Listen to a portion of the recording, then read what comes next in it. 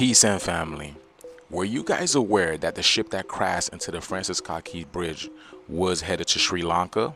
Now, the reason why that's important is because Sri Lanka's flag is the lion. Now, if you remember clearly, the cargo ship that beached itself in the movie Leave the World Behind was called the White Lion. And the reason why that's important is because the beach would be the bridge to the land, wouldn't it be? Because in order to access the beach, you would have to be at the shore and then hit the shore and then get to land which in turn making it a bridge to land. Now, I don't own a cargo ship or anything like that, but the things that I see in these videos are very strange and uncanny indeed. Like these lights are going off, right? Why would you turn your lights off if you're about to go underneath a bridge? It doesn't make sense to me. And then out of nowhere, the lights pop back on again. You guys see that? And then the car stop going off the bridge, right? And then this happens. Check this out. Is the last two cars. And then this happens over here.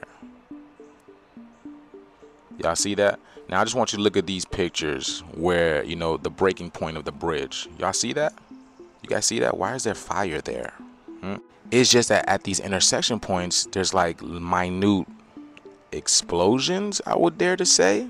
Right? You see that? All these minute explosions. Like, what is that about? Again, it goes right back to this because the ship that hit the Francis Key Bridge was called the Dali. And the reason why that's important because Salvatore Dali has a famous painting called The Broken Bridge and the Dream. See, the thing is, I don't believe in coincidence. I believe everything is planned and it's happening accordingly to plan. Hence why I'm able to tie these things back to each other. What's funny, it says materials used on the canvas is oil. Oil is an anagram for Leo, and Leo is a lion.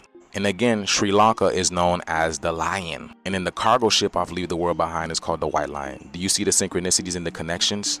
Now, I have gone really deep on this subject matter at hand. If you guys are interested, you guys go check it out on my YouTube. It's my latest video, Francis Scott Key Decoded. It is a live that's over an hour long, and I go deep in the esoteric downloads onto what is happening here. Because again, everything is a game. It's part of an esoteric game, and you must decode the game. You are the code, and you are the decoder. The code is in you, and you must learn to decode it. Because a lot of people don't know this is how God or the universe communicates with you by telling you this is all a game. So let me know what you guys think about this video. Please like, comment, and share for more videos like this. This video strictly for entertainment purposes only. I am only raising awareness to interesting situations during this interesting times. But yeah, go hop on that YouTube and learn what this really means, y'all.